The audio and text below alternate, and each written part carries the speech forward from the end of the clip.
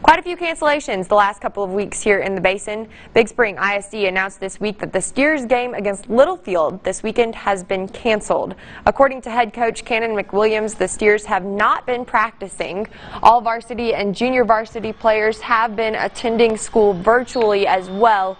He says the team will reevaluate today to determine if the team will start practice up again this week.